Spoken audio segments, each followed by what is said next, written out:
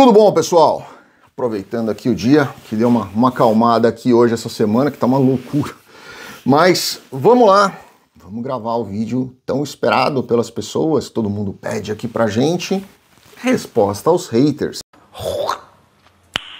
Nice. E esse daqui, como eu prometi na semana passada para vocês, fui eu mesmo que selecionei essas aqui, tá? Então tem algumas aqui que vocês vão ver que são até um pouco mais agressivas. A gente vai tentar responder aqui com bom humor, tentar responder aqui com, com educação para as pessoas e tentar ensinar um pouquinho também para vocês. Olha, tá até aparecendo um pedacinho da minha lousa aqui que eu uso para dar aula. Eu acho que nunca apareceu em nenhum vídeo, mas está aqui, um pedaço da lousa. Ela até um pouco mais lá para baixo, mas aqui já dá para aparecer um pedacinho dela. Qualquer dia eu posso escrever alguma coisa ali para dar um demonstrar para vocês alguma coisa sobre vício, alguma coisa nesse sentido. Então vamos lá, vamos às respostas aqui dos haters, começando com a Lili Lemonade 42. Ô Lili, vamos começar já pelo começo, tá? Miau! Eu sei que você deve ter colocado Lili Lemonade, mas é Lemonade, não é Lemonade ok? Então vamos começar e não, não, não li ainda o que você escreveu, mas vamos começar dizendo que se você gosta de limonada, não azede o nome, por favor. Acho ridícula a forma com que você responde aos haters. Claro, eles não podem dar a opinião deles, não. Todos temos direito à liberdade de expressão e eles só estão manifestando o direito deles. Se você não gostou, delete, mas não precisa ironizar o que as pessoas escrevem no seu canal. Sim, exato. Como você terminou aqui, minha cara Lili Lemonade, não Lemonade. É, sim, o canal é meu. Você é o bichão mesmo, hein, doido? Então, na verdade, quem decide se eu vou bloquear ou desbloquear ou deixar ali a pessoa falar alguma coisa, a decisão eu acho que é minha, né? Então, obrigado por você reconhecer que o canal é meu agradeço bastante. É, não sei se você veio do IA, né? Tem muitos, muitas pessoas que resolveram questionar aqui. Aliás, vocês viram a última do Ian lá, todo mundo descendo porrete nele lá. Eu não vou falar nada, porque se eu falo alguma coisa, vem aí os, os a tropa ali dele encher a paciência da gente aqui no canal. Mas, contudo, sugiro que vocês procurem aí o que o pessoal andou gravando, falando sobre essa questão do Ian aí, das últimas besteiras ditas ali num podcast que ele foi, certo? É, mas com relação à, à, liberdade de expressão, sim, minha cara Lili Limonade. É, eu, eu, eu, acredito muito na liberdade de expressão, né? Mas nem sempre as pessoas, principalmente o Ian, acreditam nisso. E algumas pessoas, segundo ele, é, tem que ter obrigação, não, não, perdão, tem o direito de ficar calada e não tem direito à voz, né? Ih, rapaz. Por isso que cabe a mim aqui decidir dentro do meu canal se a gente vai deixar as pessoas falarem e a gente vai fazer alguma brincadeira, brincadeira que eu tento fazer sempre com algum respeito, ou se a gente vai simplesmente deletar, ok? Alguns a gente realmente deleta porque são pessoas que são péssimas. Segunda pergunta, essa aqui eu sugeri, essa aqui eu tinha que colocar. Gostei muito do nome dele. O nome dele é Silvio Letárgico Cascavel. Eu li quatro vezes para ver essa história. Por que, que eu gostei desse daqui? Quando eu era mais novo, eu assistia muito o Mundo de Bickman. Vocês lembram do Mundo de Bickman? Eu vou pedir pro pessoal da, da, da edição colocar aqui ó, a Lisa. Vocês lembram da Lisa? que ela fazia, era sempre que mandava as cartas lá para ele, era sempre assim, era Maria Flor dos Campos Floridos. Vocês lembram dessa história assim? Foi eu lembrei aqui do mundo de Bickman, da Lisa lendo as cartas lá das perguntas para o mundo de Bickman, quando eu vi Silvio Letárgico Cascavel. Essa música, será que é o que eu estou pensando? Então vamos continuar com Silvio Letárgico. KKKKKKKKKKKKK. Ele escreveu 1, 2, 3, 4, 5, 6, 7, 8, 9, 10, 11, 12, 13, 14, 15, 16 KKK tá? É, só bagunça. Mais um idiota que odeia pobre. Para mim, todos os ricos deveriam desaparecer deste mundo. Ah, sem deixar rastro. Você é ridículo, sua família é ridícula, seus amigos são ridículos, vocês são todos ridículos. Muito ridículos. Sumam deste país e deixe que nós tomamos conta muito melhor do que vocês. É, Silvio Letárgico. Com toda essa letargia, eu não sei se você consegue tomar conta de um país, né? Mas é, muito menos com esse tipo de argumento que você usou. Mas bacana, vamos lá, vamos falar. Minha família é ridícula, eu sou ridículo, meus amigos são ridículos, o mundo é ridículo, tudo é muito ridículo, menos você. Às vezes vai brigar ele. Né, Silvio Letárgico? Eu não entendi por que, que você quer que os ricos saiam do mundo e que deveriam desaparecer. Ou seja, você quer um mundo só com pobres? Acertou. Ah, miserável. É isso que você disse aqui, porque você falou que todos os ricos deveriam desaparecer. Tipo, puf, desapareceu. Né? Quando essas pessoas desaparecem, você acha que o dinheiro dessas pessoas vão fazer o quê? Se alguém desaparece do Brasil, você acha que ele vai deixar o dinheiro no Brasil? Olha, eu vou sair do país porque não estou feliz, eu não estou satisfeito, não gosto do que está acontecendo, eu vou sair, mas como eu sou muito legal, eu vou deixar todo o meu dinheiro aqui para que seja investido na economia brasileira. Não, essas pessoas vão pegar o dinheiro delas e sumir daí também.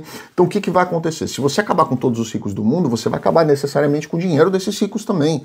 Então não adianta você pensar nessa, nesse raciocínio porque não vai dar certo. E pior, ô Silvio Letárgico, você vai ter um outro problema. Porque geralmente essas pessoas que são um pouco mais ricas, elas geram muitos empregos. E se essas pessoas saírem, acabou o emprego. Pelo amor de Deus, cara. É, é- é impressionante o grau de maldade que vocês têm. Se acabou o emprego, você vai ficar desempregado. Bom, esse é letárgico, né? Então, pode ser que você não fique tão triste se você perder o seu emprego. Mas outras pessoas vão ficar. Então, cuidado, Silvio Letárgico de Cascavel. Né? Se fosse no Bigman, seria uma carta do Silvio Letárgico do mundo preguiçoso, né? Mas bacana. Vamos lá, Silvio. Boa sorte aí pra você. Jaque Frost, 94. Até, até escrevi aqui que ela não era hater. É a Jaque Frost. Jaque congelada. Deve ter nascido em 1994. Daniel, eu tenho uma dúvida, acompanho o seu trabalho desde 2015 e gosto muito da forma simples que você explica e nos dá dica. Você, mesmo sem saber, já ajudou muitas pessoas, inclusive eu que e meu marido Antônio Carlos. Você nos livrou de muitos problemas, mas quando chegamos aqui, tivemos algumas surpresas, infelizmente. Seu trabalho é muito importante para nós, imigrantes. Deus te abençoe, sempre ilumine seu caminho. Quando nos conhecermos, ah, vou fazer um bolo de laranja especial. Ok, Jaque. E cadê a sua dúvida? Porque você escreveu no começo. Daniel, eu tenho uma dúvida. Acompanho o seu trabalho desde 2015 e gosto muito da forma simples com que você explica. E nos dá dicas. Aí, blá blá blá blá, blá falou tudo muito do seu marido Antônio Carlos. Um trabalho muito importante para nós, imigrantes, que Deus abençoe. Abençoe você também, Jaque. Mas é, você não escreveu a dúvida, Jaque. Que merda, hein? Então, não sei. Obrigado pelas palavras, mas é, você começou dizendo que tinha uma dúvida e não tem a dúvida, ou não escreveu a dúvida. Obrigado, Jaque, pelo carinho. Alemão Baiano 1893. Alemão Baiano? O pessoal escolhe uns nomes assim, né? eu fiquei imaginando um alemão baiano. Comecei a assistir seu vídeo e já saí logo. Não tem como ouvir alguém que nem no Brasil está. Caramba, você não escuta ninguém que está no Brasil, a primeira coisa que alguém tá falando com você, você fala, pera, pera, pera, mas onde você está? Ah, eu estou em, sei lá, Portugal. Ah, então não, não está no Brasil, eu não quero falar com você, eu não ouço você, não me interessa a sua posição. Você é um lesado, não sei o que, que é lesado, lesado para mim é de lesão, não sei, que saiu do país e agora pensa que nós estamos mal. Nós estamos muito bem agora, perfeito. E só vamos melhorar. Que lindo, cara! Que atitude de co... Com certeza. Temos tudo para isso. Nós carregamos o Brasil nas costas por todos esses anos e agora vocês, capitalista, pera, pera, pera, pera, pera. Nós quem carregamos o Brasil? É, os alemães, os baianos, quem foram? Não, não sei. Você não foi específico aqui, o alemão. É, alemão baiano, por isso que eu falei dos dois aqui, tá? Eu não sei qual dos dois que ele quis dizer. Carregamos o Brasil nas costas por todos esses anos. Agora vocês capitalista, não, vocês capitalistas querem, aí, aí você colocou no plural, tá certo. Vocês capitalistas querem, mas você escreveu vocês capitalistas querem. Não fica, não fica bonito, não fica bacana. Um pedaço de nós. E adoro beijo na boca. Nossa, agora eu fiquei confuso, alemão. Vamos, vamos voltar lá. Nós carregamos o Brasil nas costas por todos estes anos. Nós quem? Não sei. E agora vocês, capitalistas, querem um pedaço de nós. Um pedaço de quem, ô alemão? Venha pegar um pedaço meu aqui. Ô alemão. Ô alemão, não tenho ideia do que você está querendo dizer com isso. Mas como assim venha pegar um pedaço de mim aqui? Ficou meio esquisito isso, alemão. Eu, eu não sei o que você quis dizer com isso, mas se você está querendo dar um pedacinho de você para alguém, eu eu passo, tá? Você não sabe de nada, então cala a boca. Ok. Próxima. Smiley Patty. A Paty sorridente. Não sei se você vai ler minha mensagem. Estou lendo, Paty. Mas se ler, eu quero que interprete como uma crítica construtiva. É, sempre começa assim, né, Paty? Sempre começa assim, Paty. Eu vou te fazer uma crítica construtiva. Ah, sua mãe é uma senhora de uma desgraça. É sempre assim, a mesma coisa, tá? Ave Maria cheia de graça. Mas vamos, vamos continuar aqui. Não me interprete interprete como uma crítica construtiva e não me leve a mal. A Paty, sorridente, escreveu mal certinho, com L. Viu? O alemão baiano. Leia a mensagem da Paty, mal com L, certinho. Uh, eu não gosto da forma que você fala com seus haters. Acho que poderia ser mais simpático. Claro, a gente tem que ser super simpático com as pessoas que odeiam a gente. A gente deve né, esticar as mãos, ajudá-los, sorrir, e mostrar que somos seres de luz elevados. Como é que é? Acho que podia ser mais simpático e tentar entender o que eles querem dizer. Eu juro por Deus, Paty Sorridente, que eu tento entender o que falam, mas tem horas que não dá, as pessoas não conseguem ter uma conjugação verbal, elas falam nada com nada, parece que, sei lá, elas, elas tomam chá de cogumelo e vão para a internet ficar viajando nas coisas que elas estão escrevendo. Não sei. Eu tento entender, mas nem sempre as pessoas entendem. Nem quem está do outro lado entende às vezes. Sabia que você pode ajudar muito essas pessoas? Não, aí eu já discuto. Eu discordo, Pato Sorridente. Eu estudei direito, não foi psiquiatria nem psicologia. Tá? Eu não, não entendo nada disso. Eu não consigo ajudar essas pessoas desse jeito. Outra coisa que você, outra coisa que eu não gosto é quando você grava vídeos no carro. Hum. Ver aquele movimento me deixa enjoada e não consigo entender direito o que você fala. O estômago, é, o, o pato sorridente. Você não consegue ouvir o que eu falo direito porque você está enjoada. Então o seu estômago está conectado no ouvido. Estou ficando nervoso. Não entendi, mas tudo bem. Por favor, não grave mais vídeo no carro. Oh, claro, Paty Sorridente, eu vou, eu vou agora mudar todo o meu horário, totalmente.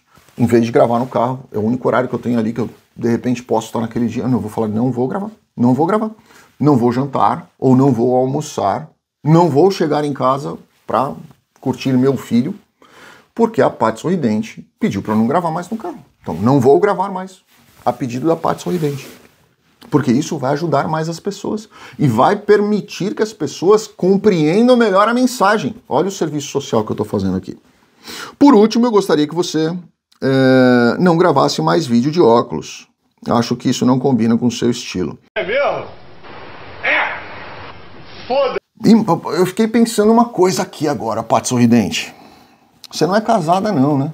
Porque imagina o que o seu, mori, o seu marido deve escutar de você. Meu Deus do céu, você implicou com meu óculos. Pate sorridente, é o seguinte: eu uso óculos não é porque eu quero usar óculos. Eu nunca usei óculos na minha vida, tá? Detesto usar óculos. Mas infelizmente eu fui no oculista porque eu não enxergo mais de perto. De pertinho assim eu não enxergo, de longe enxergo tudo. Muito bem até por sinal, mas de perto eu não estou enxergando mais. E aí, eu vejo as coisas meio embaçadas assim. E aí, o, o médico, eu posso até, até falar para ele, falou, doutor, a parte sorridente não quer mais que eu use óculos, tá? Mas eu acho que ele não. Ele vai falar, bom, você que sabe. Mas é, eu preciso, senão eu não consigo ler o que as pessoas escrevem. E, e, na minha profissão é importante ler, é importante entender e principalmente é importante enxergar direitinho o que eu estou lendo. Então desculpa, Paty, mas é, essa eu não vou conseguir te ajudar. Até de não gravar no carro é uma coisa, mas ficar cegueta não dá, tá? Eu vou cair! Vamos lá. Nossa, imagina o marido dessa mulher. Próxima. Wild Young Free Girly. G-R-L-Y. Deve ser girly. Então é, é garotinha livre jovem selvagem. Tô até imaginando a, a, a figura. Claro que tem que começar com AFS. Claro, lógico. A-F-F-S. A garotinha livre, jovem selvagem tem que começar com AFS. Mais um idiota que se acha. Eu tinha nojo de pessoas aqui que têm passaporte azul. e acham que isso também faz terem sangue azul. Garotinha, é, selvagem, eu, eu não sei se você já tirou passaporte alguma vez na sua vida, mas o passaporte brasileiro é azul. Não dá para você escolher outra cor de passaporte azul. E se você está se referindo ao passaporte americano, não sei o que você quis dizer aqui, mas enfim, ele também é azul. Então, não, não sei o que você quis dizer, mas se você for na Polícia Federal aí no Brasil, você vai ver que o passaporte brasileiro também é azul. Tudo errado essas perguntas. E não importa se a pessoa é chique ou não é chique, se ela é rica, se ela é pobre, se ela é ignorante, se ela tem uma cultura alta, não importa. O passaporte é da mesma cor, tá? Isso não muda a cor do sangue da pessoa. Você não tem sangue azul, não. Eu sei que não, até porque eu me cortei ontem aqui, ó, eu vi, saiu sangue aqui. Você pensa que é o quê? Um Smurf. Vocês pensam, minha vida é fácil, né? Você pensa que é o quê? Um Smurf, ou seja, ela, eu falo, essa aqui foi uma das que deve ter tomado o chá do cogumelo. boy. E tá vendo Smurf? Ela associou a cor do passaporte azul brasileiro, que eu não sei de onde ela tirou essa história, para um Smurf, né? Então, enfim. Vocês são ridículos. AFs de novo. Tem que ter AFs de novo. Vocês acham que são importantes, mas não são. Eu sei bem onde os maridos das suas clientes estão quando dizem que vão jogar bola de quinta-feira. AFs de novo. O, o Garotinha Selvagem, eu não tenho ideia do que você está falando. Pô, cara. E se você sabe onde os maridos das minhas clientes, que eu, eu não sei onde eles estão, mas se você sabe onde eles estão, deixa aqui no comentário. Agora estou botando fogo no pessoal, né? Imagina deixar aqui, olha, eu fiquei sabendo que eu... Vamos lá. Solitudiana. Solitudiana. Ana Solidão. Não sei o que acontece com as pessoas. Cadê a compaixão? Cadê a defesa das famílias tradicionais? Boa pergunta. Boa pergunta, Ana. Boa pergunta. Cadê os valores humanos? Meu marido foi preso. Hum. Ô, oh, Ana, você estava indo tão bem. Meu marido foi preso na fronteira dos Estados Unidos e estava levando drogas que o coiote mandou. Ele é uma vítima. Ele não é traficante. E nem sabe como usar essas porcarias. É, tá bom. Ô, Ana, aí foi um pouco de ingenuidade sua, né? Ele estava levando na mochila porque senão matavam ele. E ele falou isso para a polícia. E agora ele vai pegar 14 anos de cadeia? É isso mesmo? É isso que você vai deixar acontecer? Eu? Eu não tenho nada a ver com isso não, Ana. Ele escolheu o que ele ia fazer e você está colocando ainda aqui a história da vida do seu marido. Mas vamos lá. Quem vai pagar o advogado deles aí nos Estados Unidos? Bom, ele mesmo. Né? Ou o Coyote. Né? Não sei. Aí você pensa nisso aí, você agora. O governo deveria pelo menos dar mais dignidade para os humanos. Correto, concordo. Concordo com você, Ana. Concordo com você. E aí, na hora que você conversar com seu marido, você pergunta para ele, né? o que, que ele ia fazer com essa droga que ele que ele estava entrando aqui nos Estados Unidos, para quem que ele ia entregar, o que, que ele ia fazer e se essa droga aí chegasse na mão de um filho de vocês, ou de um parente de vocês, ou de alguém muito perto de vocês, né, e você tivesse que buscar esse, esse teu parente que você ama na Cracolândia, né, aí seu marido ia falar, não, mas esse daqui não foi o que eu trouxe, esse daqui foi o que o outro trouxe. Ana, por favor, você começou tão bem aqui a coisa e vem falar uma besteira dessa, Ana? Oh, né? Você quer que a gente pague o, o advogado do seu marido que estava entrando com. Ah, ô, ô, Ana! Por favor, né? Vou te deitar na porrada se eu voltar aí, hein? Esse aqui, esse, esse nome é legal, eu gostei desse aqui, ó. Stick with me, Joe. Cola na minha, Joe. Cé louco, mano. Cé. Ele escreveu Cé. S-E acento. Cé louco, mano. Cé louco, mano. Total sem noção. É, sem noção mesmo. Sem noção nenhuma mesmo. Você tem razão oh, stick with me, Joe. Tu fala muita M. Não, as pessoas não, é as pessoas, Joe. Se é para colar na tua, ajuda pelo menos as pessoas que estão colando na tua, né? As pessoas não sabem, não sabem também, você escreveu errado, é sabem, não é não saber. Escrever direito, porque o Bozo, eu acho que você está falando do Bolsonaro, né? Eu já aprendi essa. Cortou o dinheiro da educação. É, não, não, foi bem assim, não, mas a gente vai chegar lá, vamos lá. Aí vem ignorante para falar que as pessoas, também no, no singular, são grossas. Pelo menos escreveu grosso certo. Tá no não grosso. Vai estudar seu boçal, com dois S, e deixa nosso presidente em paz. Paz, óbvio, com S. P-A-S. Tá bom, vamos lá, vamos lá. É, o Stick With Me Joe, vamos, vamos fazer aqui um, um apanhado, porque eu até fiz uma, uma coisa aqui, né? Eu acho que a gente ficar lendo esse monte de coisa aqui que você escreveu, eu vou até desaprender a falar em português aqui, mas vamos lá, vamos lá. Você falou de educação, né? Um, pensa uma coisa. O Bolsonaro foi presidente de 19 a 23, certo? Vou tirar o óculos aqui, porque senão a, a, a garotinha selvagem não gosta de óculos. Foi a Paty, acho que foi a Paty que não gostou de, óculos. Uh, Bolsonaro foi de 19 a 23. Vamos imaginar que você estivesse começando a escrever em 2019, foi o ano que ele entrou. Né? Então vamos imaginar que você criança, começou, pegou a caneta para começar a escrever em 2019. Nós estamos falando aí que você vai estar com mais ou menos 9, 10 anos hoje, talvez, que é o fim do mandato dele. Né? Então, 10 anos talvez, eu duvido que tenha alguma criança de 10 anos escrevendo no meu canal. Eu duvido que uma criança de 10 anos consiga entender algumas coisas que eu escrevo aqui no meu canal, tá? Então, que eu, que eu escrevo, não, que eu falo aqui. Então, possivelmente, se alguém tiver que ser culpado por corte de verbas de educação do presidente Bolsonaro anterior, do qual eu também eu tenho uma série de críticas para falar, tá? Se não vem, não vem escrever aqui, ah, você é bolsominion. Não sou. Tenho um monte de crítica. Mas, vamos voltar aqui ao assunto. Ele teve quatro anos. As pessoas que aprenderam a escrever nesses quatro anos, ou deveriam ter aprendido a escrever nesses quatro anos, elas hoje teriam dez anos. Então não tem muito a ver.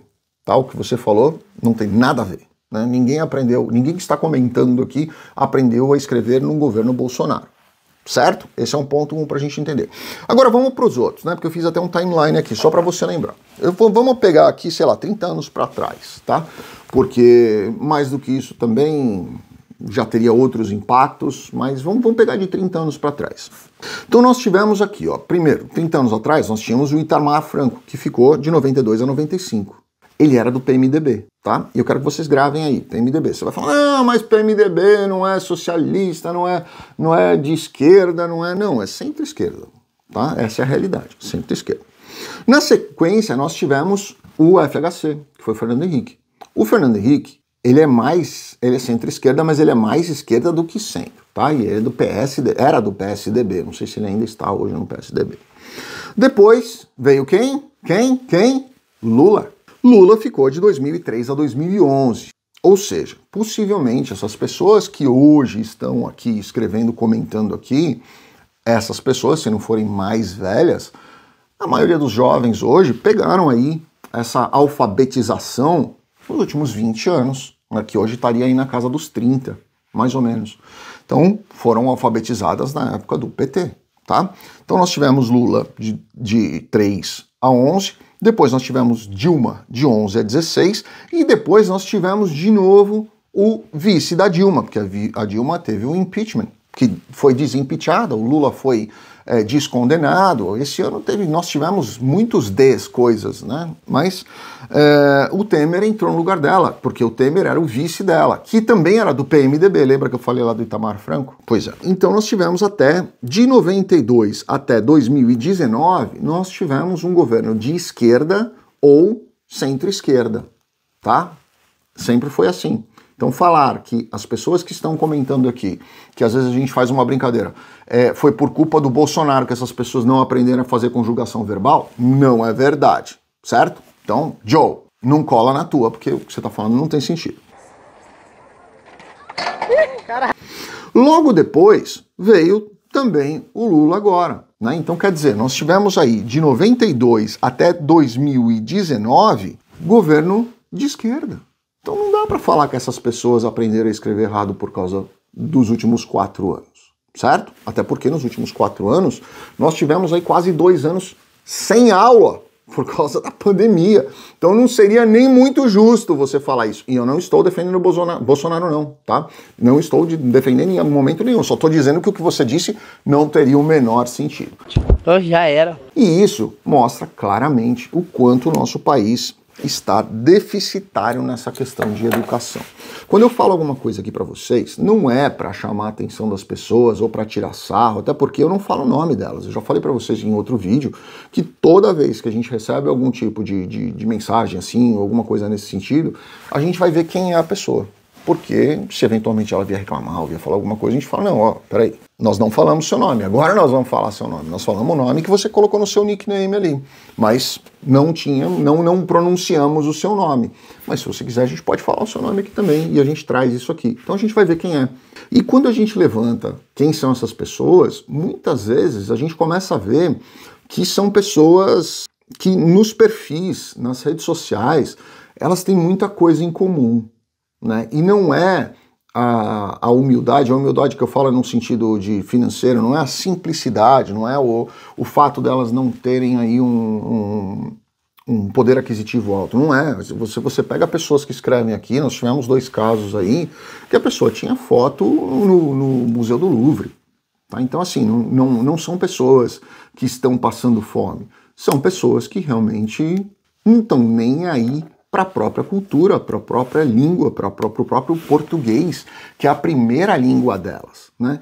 E isso mostra muito para onde o Brasil tem caminhado nas últimas décadas. Eu falei aqui para vocês, aqui, eu fiz esse, esse timeline de presidentes aqui para responder aqui o, o Cola na minha Joe, porque eu achei que seria interessante a gente olhar isso e refletir.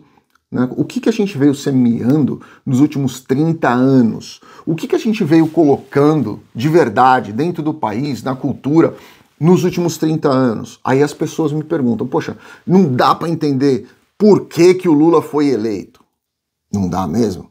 Mais ou menos, mais ou menos, mais ou menos. Se você olhar todo o histórico cultural, que foi gasto em educação e tudo mais, será que não dá para entender mesmo? Será que não dá para entender mesmo quantas faculdades foram abertas? Ah, mas o brasileiro tem nível superior. Qual é o nível das pessoas que saem hoje das universidades? Qual é o nível dessas pessoas que entram nas universidades para pagar merreca de mensalidade para ir ali só para passar de ano? Qual é o nível desse profissional? Qual é o nível salarial que você vê nessas pessoas que saem das universidades? Pense nisso. Esse é um tipo da coisa para a gente entender por que dessas questões aqui. Grande abraço a todos, fiquem com Deus, bom final de semana. Deixa aqui embaixo o seu comentário, por favor. Obrigado.